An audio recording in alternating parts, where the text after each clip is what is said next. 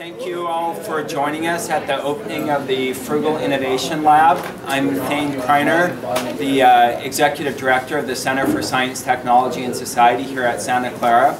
We're one of three centers of distinction that embody the university's mission to create a more just, humane, and sustainable world. And many of you know about the university's strategic priorities, which I think the Frugal Innovation Lab embodies extremely well, particularly global engagement, which you can see all of the kinds of projects that are taking place with social entrepreneurs who have come through the Global Social Benefit Incubator, our signature program at the center, and engagement with Silicon Valley, uh, as embodied in the Maker Lab and other uh, activities here. So we're very, very proud to be in partnership with the School of Engineering in incubating and launching the Frugal Innovation Lab, and it has also spawned a whole series of distinctive courses that distinguish Santa Clara University from any other university. We love the concept of being able to help the, bottom, the base of the pyramid. We had this tagline, which you see up there, engineering with a mission. We had created that back in late 2007, and in some sense, this helps us put some legs under the concept of engineering with a mission. This is a combination of a great great line of thinking, and we're just happy to be doing that during our centennial year. So I'll turn it over now to the two instigators of this concept, who should uh, be the ones cutting the ribbon. We will, we will do that. Thank you, Godfrey. And in the interest of uh, frugal innovation, there was not much money spent on these scissors. So uh, the whole, I think this is only supposed to be an hour panel. It might take us that long to cut the ribbon. I will have you cut great achievement. It was Radha's idea, and uh, my background as a CEO, what a good CEO does is when uh, one of their partners or team members has a really good idea, they say yes and get out of the way. And so uh, that's what I did with Frugal Innovation. Radha had the idea, the passion, uh, and uh, we figured out how to fund it, uh, and we're off to a, to a great start. I think doing an awful lot of good with a little amount of money and with some real innovative ideas and approaches to solving uh, large-scale problems in uh, communities that are under-resourced, whether they be in the United States or outside or global, and working with the students and the faculty of the engineering school, oh, it's been, it has been quite a dream come true. And I just want to say real big thanks to Godfrey for engineering with a mission, for Thane, your passion in working and the and Jim Koch with the Global Social Benefit Incubator. If you look at the projects here, a majority of them are examples of with the social entrepreneurs of the GSBI, or many of them are. I wouldn't say majority, more will be forthcoming. And um, a special word uh, we dedicated a wall to Professor Dan Strickland and for his love and for and contribution to renewable energy technologies. We miss him dearly and we hope to have more projects like his uh, reversible fuel cells and students working on it. And thank you, Jeff, for being a partner, for funding it. And since it's so frugal, I'll let you cut it. Okay. Here we go. We'll hope we can do this uh, quickly. I think it works. All right.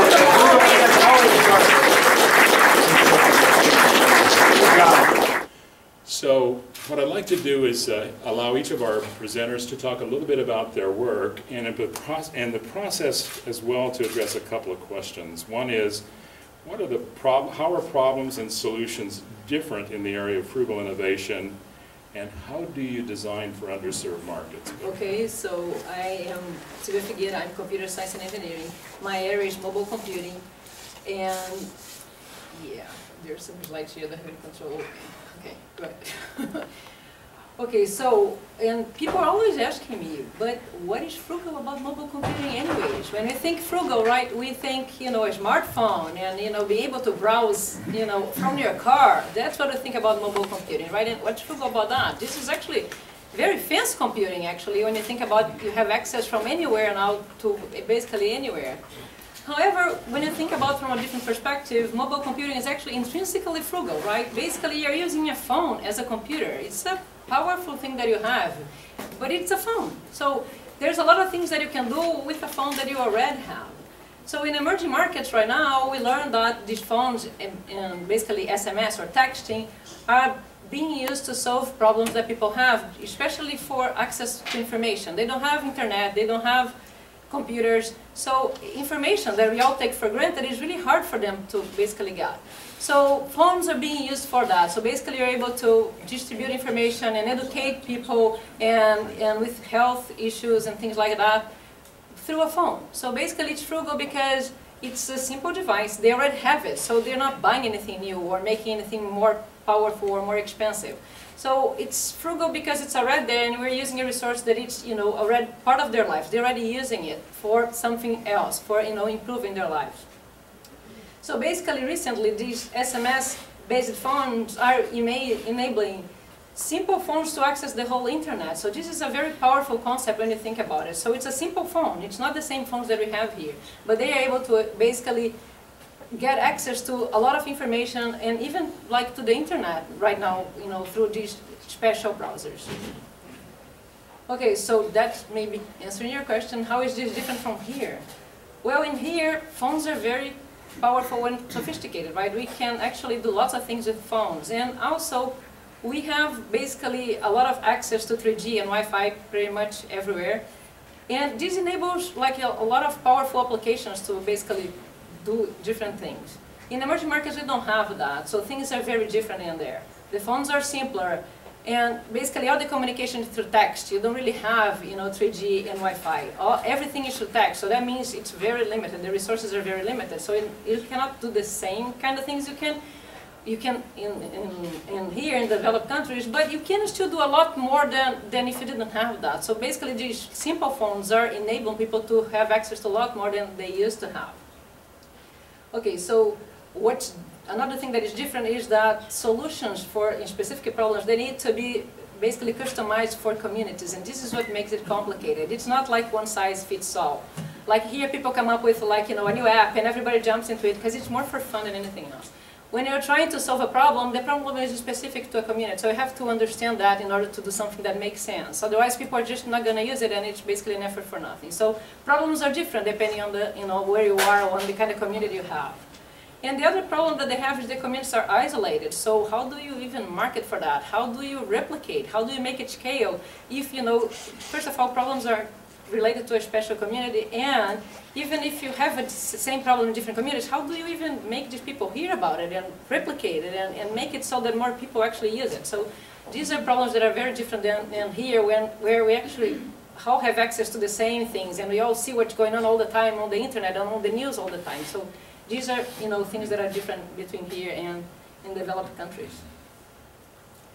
And so some of the main challenge that we have in this area is basically understand the needs of the community. How do you go around and, and actually know what's going on? So going to India helped us a lot because we actually saw you know, the real needs. We saw that it's actually making an impact. When you go there and see like, you know, people using phones everywhere with, you know, very different kinds of, of, um, of goals, we understand that, you know, it can help, but you have to understand how it will help. What do they really need? And dealing with the limited resources there make a big difference because basically we don't have it here. So you have to totally change your mindset from the, you know, smartphones are like a fancy gadget to simple phones are a very important tool and, and create for that. So develop applications that will help people in specific points.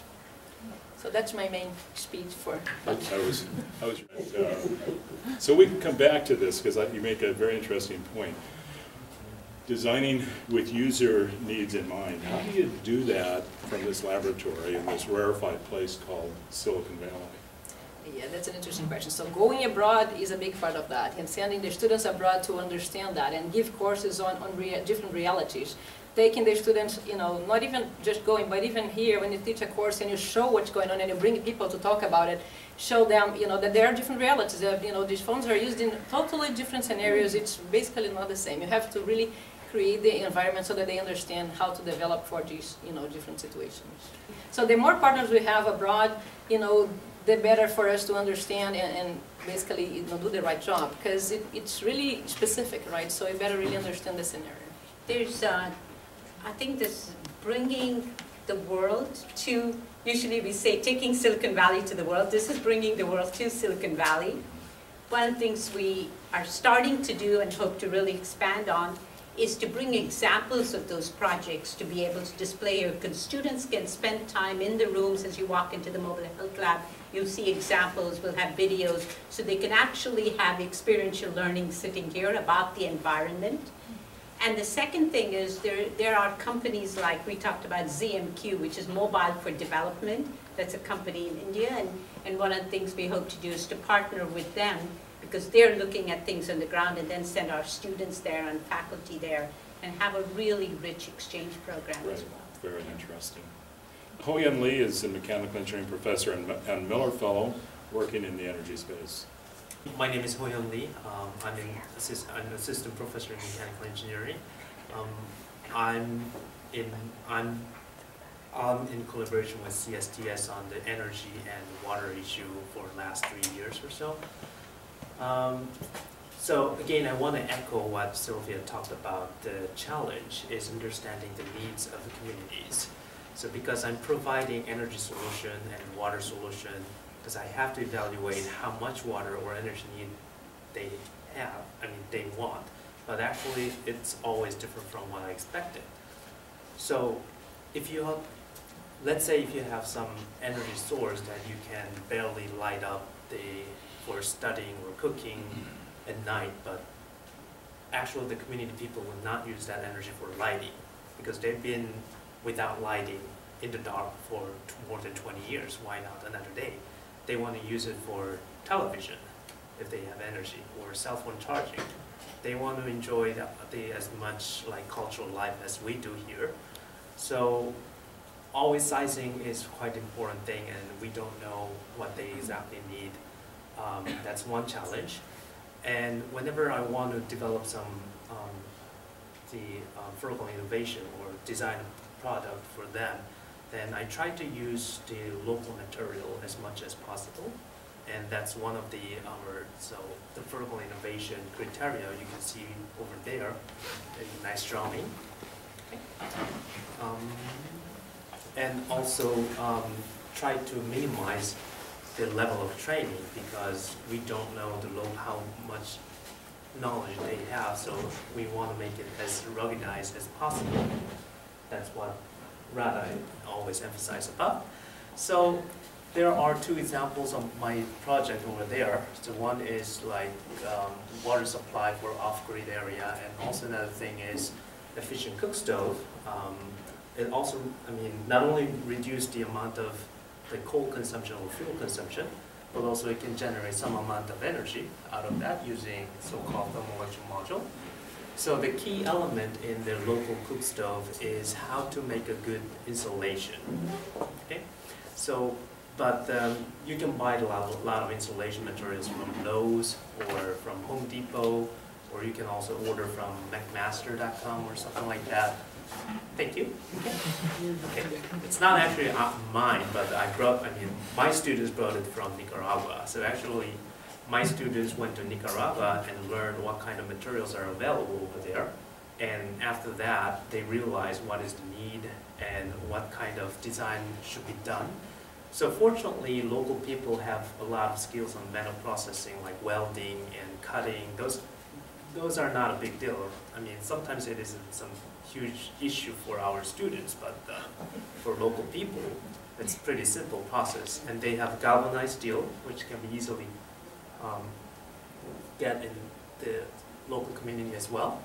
And problem is insulation, as I mentioned, well, again, in Home Depot, you have lots of options with different R value, which means how resistant it is thermally.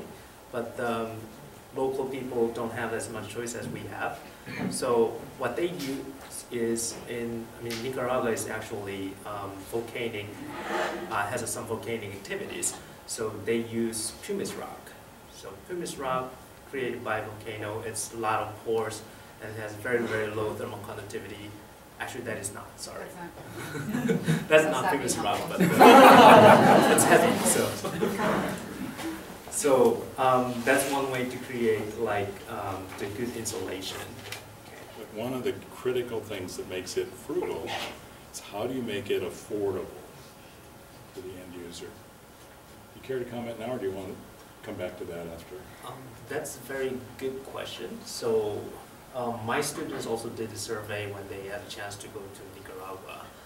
And that cook stove, now you can see over there, that's twenty dollar per piece. Well, they're living on like four dollar per day, so twenty dollar is not pretty cheap. But out of four dollar, they spend like two or three dollars on fuels. So think about that way. So if you use, I mean, that can actually reduce amount of like um, the fuel consumption by more than half, then the payback period is just like 20 days or so. So the problem is if they are willing to pay like $20 in advance or not, but that kind of problem can be done in conjunction with like microfinance, something like that, and develop some good program. Let me introduce our, our third presenter, Ashley Kim in bioengineering, and whose focus is on the area of health. So hi everyone, I'm Ashley Kim from bioengineering. And uh, my research here in general is in microfluidics. So meaning we are developing a miniature platform that offers the complete functionality of the conventional benchtop system we can see in the conventional lab settings. But um, so like the frugal innovation to me in a sense is to start with the needs of the uh, poor customers and working backwards to develop effective solutions for them.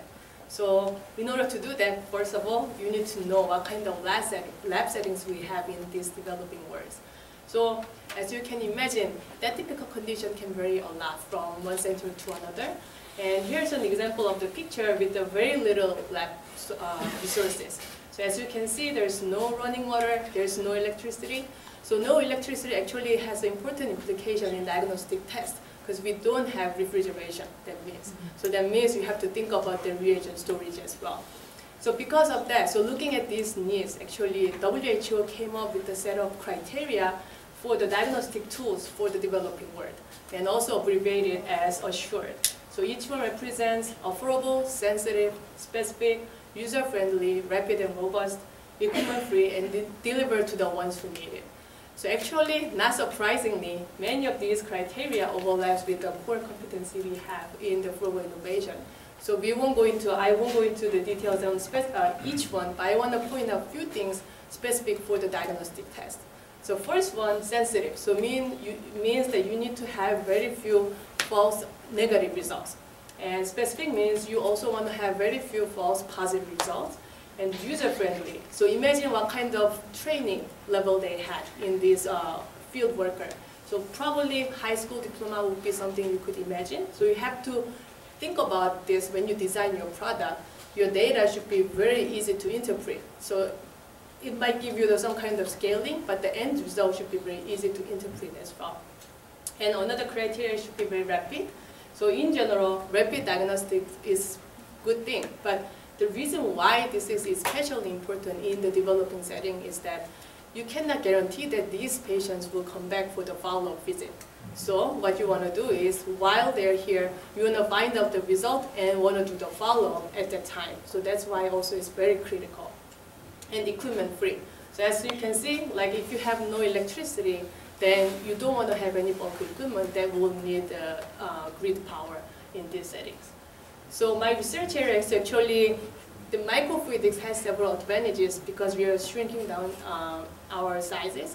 And that actually satisfies many of the requirements. But uh, the specific problem we are interested in is the water problem.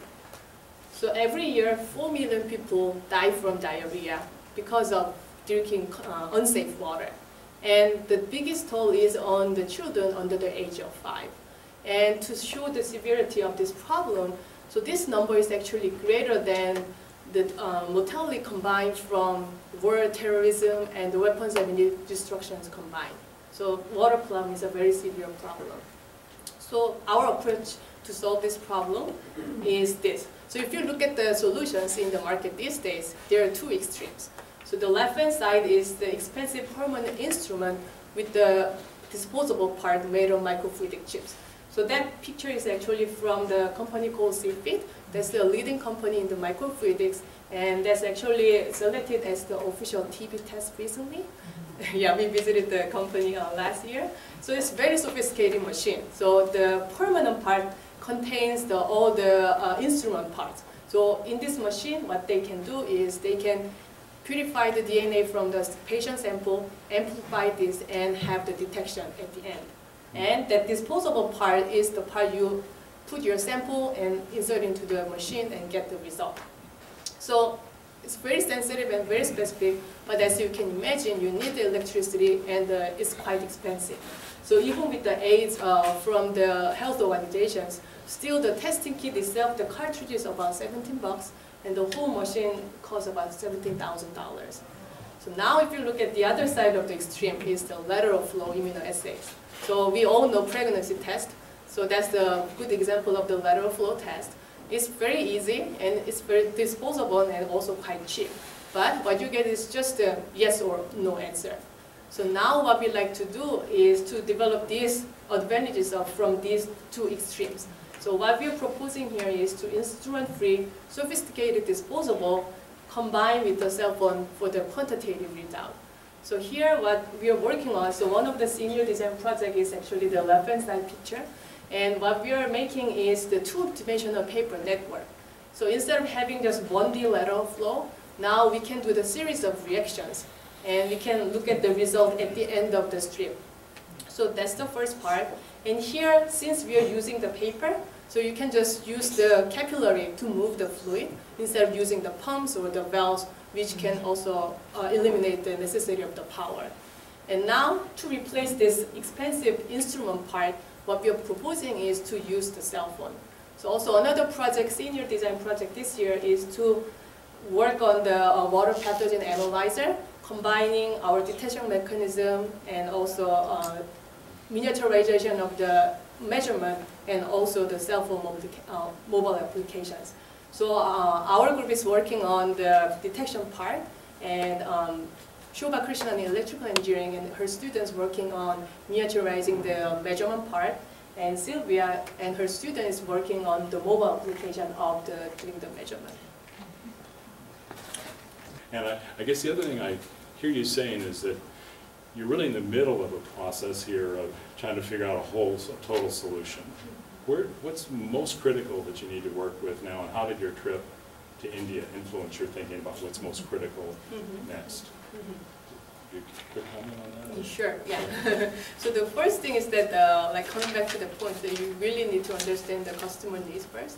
So uh, when our student group started to work on the project, so the first thing they did was to do the interview with the people in India. And they learned a lot from this experience. So the design consequently changed a lot uh, from this uh, interview process. And also, so when I visited uh, one of the organizations, eHealth Point in India, which provides the safe water and the telemedical conferencing to the community in the villages. Um, so I asked them this question, so what's your most difficult challenge? And they said education was the most difficult part. So technology itself is also very important, but they say that, um, so they provide this clean drinking water, but they don't make this connection in the beginning. So I asked them, so how did you do it? And they said, so first they teach the community. So first you need to understand the community and understand their culture and custom. And once you're done with that, so you now teach them what choices they have and what consequences you have from each choice. And then let them make that choice. So that part is also very, you know, difficult to get from us, like just reading the paper, but I think it's also very critical part of the frugal innovation as well. In business school, that's called social marketing, but uh, educating the market. You have to have to have an appreciation of the value of the, of the product. Radha, tell us about your work in India and livelihoods.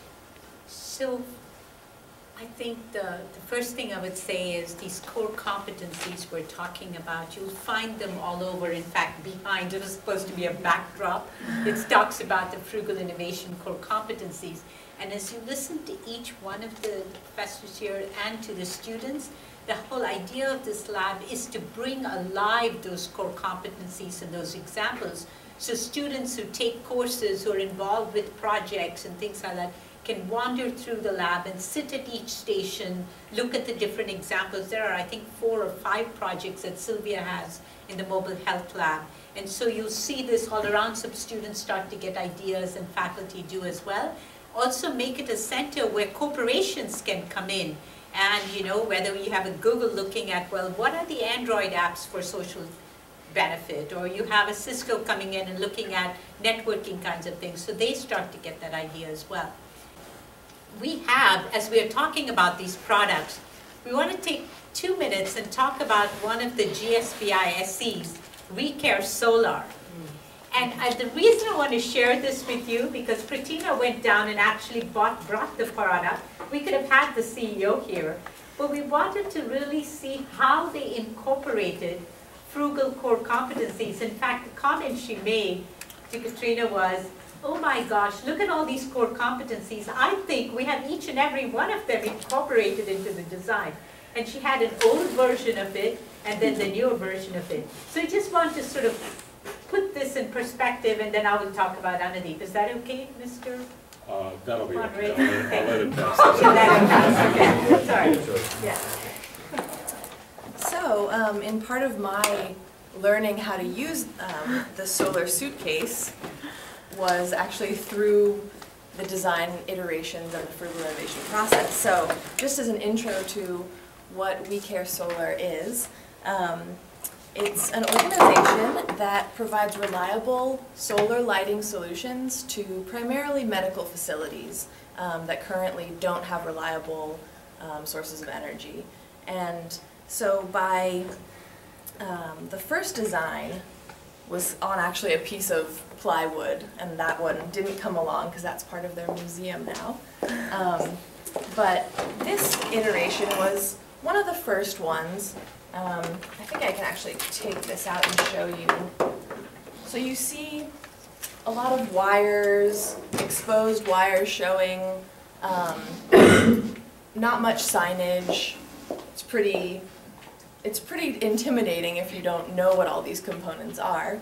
Um, and so when they first brought this technology to an actual delivery room and medical facility, um, they noticed that there were certain fundamental flaws to the design that would make it difficult for people to use and potentially turned off from the technology and the you know the benefit it was actually providing.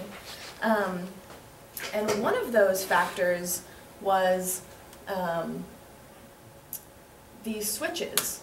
So you have multiple inputs to the system. You have your solar panel that gets mounted that charges a battery through the rays of the sun that's captured. Um, and then that charge goes to feed the different loads that you put on. You have two light switches, you can have cell phone charging, things like that. And so they realized that people were inadvertently turning off their solar panel when they meant to turn off their light. And so one of the first things they did was separate the two. So now you have your on switch on one side of your box and you have your lights on the other. So it's impossible to turn one off when you mean to turn the other off. Um, and so there's much more. I can give you the whole spiel uh, later during the open house portion, but just to touch on a few of the key points, um, was the really the education piece, as Ashley brought up, um, that a device like this can provide not only the lighting, um, but it can it provides charging. So if you have a cell phone, you don't need to travel distances to charge your phone. You actually have that service more locally.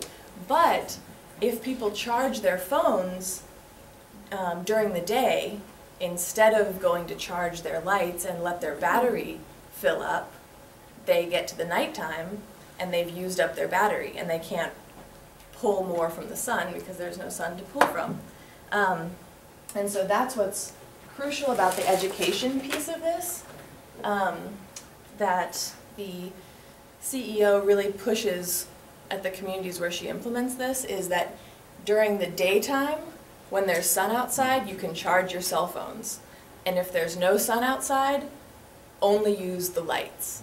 Because you really want to, you know, conserve your light for when you need it, because that was the whole problem, that women were dying in childbirth, being turned away from hospitals because they had no light.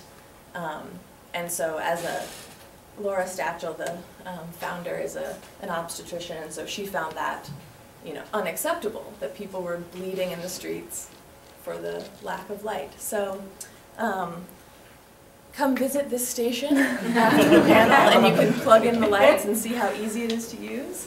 They're shipping Um, hundred, they've shipped hundred thousand of these. Wow. I'm just 100,000? amazed. I talked to her, yeah, we, we Oh, know, we, I talked to her for a while on, uh, uh, on Friday, and she's, uh, she's like, get me a COO rather right now, I need one, I'm going crazy. But they're very interested in looking at, having some students look at how there can be redesigns to make these more rugged, uh, more user-centric, and she reeled off a bunch of the core competencies that we're talking about. Which is an interesting data point, I think maybe for all of you, this last point in regards to market penetration. Um, I think when um, Laura came through the GSBI, I believe the price to the consumer was about fifteen hundred dollars. Now she's under a thousand, so she's taken end user price down that much, so. uh, it- But it's remarkable if she's achieved that level of market penetration. I think it's something like three hundred thousand clinics she had identified in the, in developing countries where this would be an appropriate solution. Tell us about Anudip.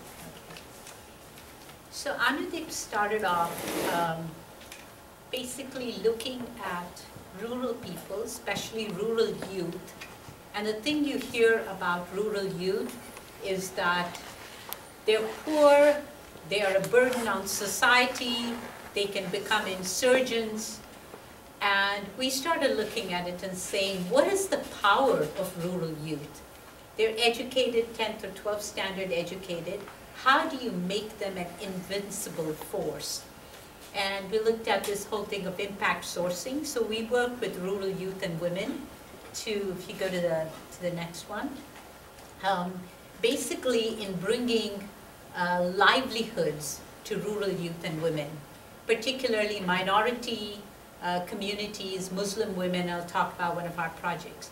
And our whole belief is if livelihoods come in and there is some job creation and there's some economic development, then the things that Ashley and Silvia and Hoyan are talking about, energy, healthcare. So if you look at that, if you have jobs in the middle, the other pieces of clean water, energy, healthcare, etc., really start to become pieces of the puzzle. And we're actually finding that, that's starting to happen as the jobs are being created. We have trained, uh, skilled about 10,000 rural youth, and we have more than 90% placement. I'll talk a little bit about the process a little bit. But basically, they are then into their communities bringing in the clean water or healthcare solutions or agriculture, mobile solutions with agriculture. And they're using in the fisheries areas where most of our people are woodcutters, fishermen, and very, very low, maybe they, they don't even earn, like a majority of them don't earn like two to three dollars a day. It's under that. And so they're bringing wealth into those communities and thereby bringing these different pieces.